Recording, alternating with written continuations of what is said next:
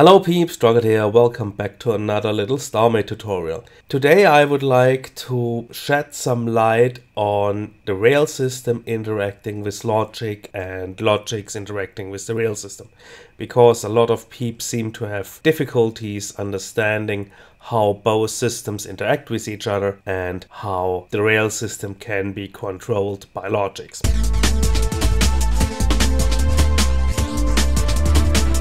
First we need a way to stop some rails. Let's put down a speed controller and let's assign it to some rail blocks and then give it a activation module assign that as well and you see the rail system stops. By turning on this activation module the rail system is back at 100% speed. As you can see the normal rails not being linked are at 50% speed and those affected by the speed controller will be at 100% speed. Now you can change the speed by adding more activation modules to it, also linking them, and now we are way slower than the unlinked things the rail speed controller will take into account the linked activation modules divided by active activation modules. Linked are 5, active is 1, meaning we are down to 1 fifth of maximum speed, being 20%.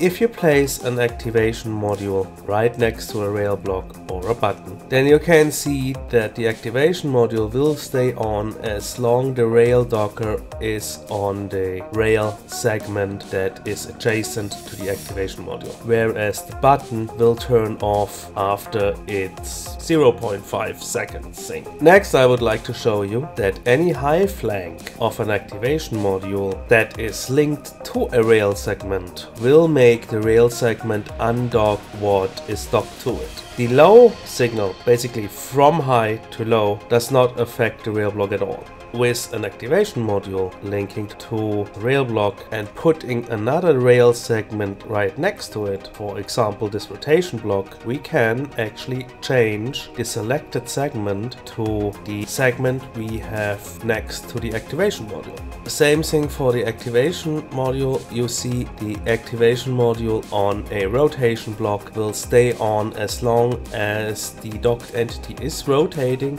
and the rail docker still above the rotation block, whereas the button of course just will turn off after 0.5 seconds. We can increase the speed for these by activating these. This will also affect the speed the rail rotation block is going to turn. Also, we can influence the amount of degrees turned by linking active activation modules to the rail rotation block. Each one adding another 45 degrees.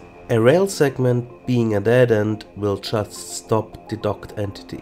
A rail rotation block being the dead end will first turn the entity, then trying to move it further, and then detecting it as a dead end, park the entity on itself, creating another pulse.